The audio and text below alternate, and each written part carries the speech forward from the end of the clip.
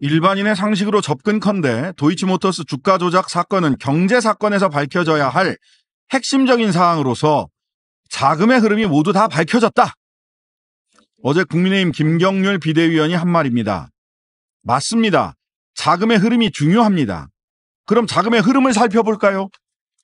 윤석열 후보는 도이치모터스 주가 조작 주포와 김건희 여사의 관계는 손해만 보고 끝났다고 했고 이후의 거래 내역은 계좌를 정리하는 과정이며 얼마나 남았는지는 정확치 않다는 취지로 해명했었습니다. 하지만 윤석열 정부의 검찰이 2022년 12월경 법원에 제출한 의견서에는 김건희, 최은순 모녀가 도이치모터스 주식으로 약 23억 원의 이익을 얻었다고 적시되어 있습니다.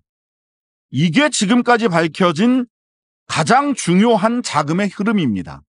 맞지요? 그렇다면 이제 무엇이 더 밝혀져야 할까요?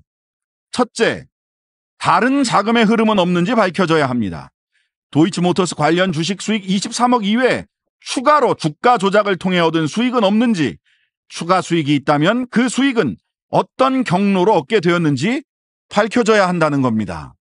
둘째, 김건희, 최은순 두 사람이 23억의 수익을 얻는 동안 도이치모터스 권호수 회장 등의 주가 조작 행위를 김건희 여사가 알고 있었는지 혹시 그들과 공범은 아닌지 밝혀져야 합니다.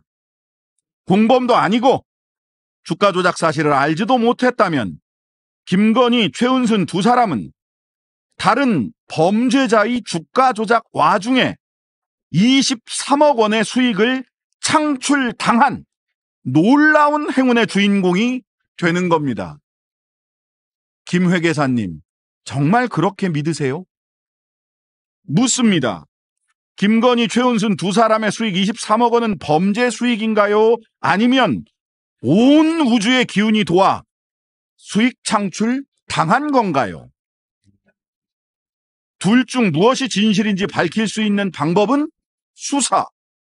검찰이 사건을 종결짓지 않고 질질 끄는 사건을 수사하는 방법은 특검. 특검을 거부하는 사람은 범인 또는 공범. 다른 답변이 가능한가요? 다른 답변이 가능한 자, 그 누구든 대답 좀 해 보시라.